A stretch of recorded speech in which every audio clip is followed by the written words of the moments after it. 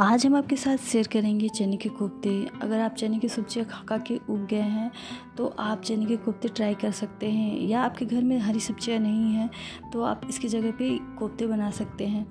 तो इसके लिए हमने चने लिए हैं और चने को रात भर हमने भिगो कर रख दिया था, और ये अब बहुत अच्छे से फूल गए हैं। हमें क्या करना है? इसमें हरी मिर्च डालेंगे तो चार हरी मिर्च लिया हमने और इसी के साथ लहसुन डालेंगे तो पाँच से छः कली हमने लहसुन का लिया है। और अब क्या करना है? हमें इसका एक पेस्ट रेडी करना है तो हम इसे मिक्सी जार में डालेंगे और बिना पानी के इसे हम पीस लेंगे। ये बिना पानी का भी बहुत अच्छे से पीस सकता है, लेकिन अगर ये नहीं पीस पाए तो आप इसमें थोड़ा सा पानी डाल सकते हैं। तो इस तरह से हमने चने को पीस लिया है। अब क्या करेंगे, इसमें प्याज डालेंगे। तो एक प्याज को मैंने बहुत ही बारीकली चॉप कर लिया है और इसे डाल देंगे। आधी छोटी चम्मच हल्दी पाउडर डालेंगे। आधी छोटी चम्मच काली मिर्च का पाउडर डालेंगे और स्वाद अनुसार नमक डालेंगे। और डालने के बाद इन्हें अच्छे से मिक्स कर लेंगे। तो इन्हें हाथों से मिक्स करेंगे, ये हाथों से बहुत अच्छे से मिक्स हो जाएगा। तो इस तरह से करके हमें अपने हाथों का इस्तेमाल करते हुए इन्हें अच्छे से मिक्स कर लेना है। ताकि इनका बॉल जब हम बनाएँ तो फटे नहीं तो इस तरह से हमने मिक्स कर लिया है और अब हम इनका बॉल बनाएँगे। तो इसके लिए हमने हाथों में तेल लगा लिया है और थोड़ा सा लेंगे। और जैसे हम पूड़ी के लिए लोइया बनाते हैं ना, बिल्कुल इसे वैसे ही बना लेंगे। तो इस तरह से हमें सारे के सारे लोइयों को बना करके रेडी कर लेना है। तो इस तरह से हमने लोइया बना करके रेडी कर लिया है और अब हम इन्हें फ्राई करेंगे। तो इसके लिए हमने कढ़ाई में तेल डाल दिया है और इन्हें अच्छे से गर्म कर लेंगे। तो इसे बनाने के लिए सरसों तेल का ही इस्तेमाल किया है हमने। सरसों तेल में ये बहुत टेस्टी लगता है और तेल बहुत अच्छे से गर्म हो गई है और अब इसमें हम चने के बॉल को डाल देंगे और मीडियम फ्लेम पे या लो फ्लेम पे इसे पकाएँगे।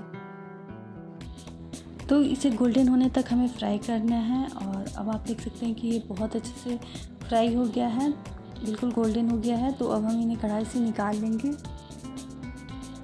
तो इस तरह से हमें सारे के सारे बॉल को फ्राई कर लेना है और अब हम इसकी ग्रेवी की तैयारी करेंगे। तो सेम कढ़ाई में बचे हुए तेल में ही हम ग्रेवी की तैयारी करेंगे। और अब हमें इसमें कुछ खड़े मसाले डालने हैं तो मैंने बहुत ज़्यादा मसाले नहीं लिए हैं। बस लाल मिर्च लिया है, तेज़पत्ता लिया है और एक छोटा चम्मच जीरा लिया है। और अब इसे कुछ सेकंड तक भूनेंगे, जब ये अच्छे से भून जाएगा तो इसमें प्याज डालेंगे। तो दो बड़े साइज़ का प्याज लिया हमने और इसे हमने बहुत बारीक कट कर लिया है। आप चाहें तो इसकी जगह पे प्याज की प्यूरी ले सकते हैं। और अब देख सकते हैं कि प्याज बहुत अच्छे से भून गया है तो हम इसमें टमाटर डालेंगे। तो दो टमाटर हमने लिया है, टमाटर को बहुत बारीकली कट कर लिया हमने। और अब हम प्याज और टमाटर दोनों को भूनेंगे। जब दोनों सॉफ्ट हो जाएँगे तो हम इसमें कुछ मसाले डालेंगे। अब हम इसमें लहसुन और अदरक का पेस्ट डालेंगे। तो दो बड़े चम्मच लहसुन और अदरक का पेस्ट है। एक चम्मच हल्दी का पाउडर डालेंगे, एक चम्मच लाल मिर्च का पाउडर डालेंगे। आधी छोटी चम्मच काली मिर्च का पाउडर डालेंगे। एक चम्मच जीरा पाउडर डालेंगे और एक चम्मच मैंने चिकन मसाला डाला है। आप किसी भी ब्रांड का चिकन मसाला डाल सकते हैं और अब हमें इन्हें अच्छे से मिक्स कर लेना है और तीन से चार मिनट तक इन्हें पकाना है। और अब आप देख सकते हैं कि ये बहुत अच्छे से भून गया है, मसालों से तेल छोड़ने लगा है। तो इस स्टेज पे हम पानी डालेंगे तो जिस हिसाब से आपको ग्रेवी चाहिए, उस हिसाब से आप पानी डालना। और इसके साथ ही हम इसमें नमक डाल देंगे स्वाद अनुसार। अब हमें इन्हें पकाना है तो पाँच से छः उबाल आने तक हम इन्हें पकाएँगे।